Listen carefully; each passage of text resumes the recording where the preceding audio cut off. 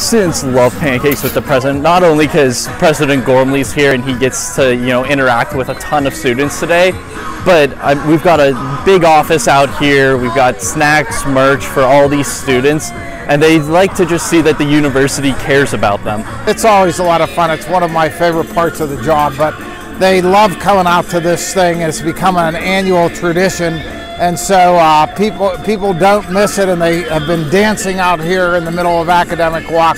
So it makes me happy to see them so happy. Yeah, it's a really good vibe. You know, we have music playing. President Gormley's here handing out pancakes, and then they handed out free mugs and T-shirts. Um, so yeah, it was a really good time. There's nothing better than pancakes with the president to show that we're still on top here at Duquesne.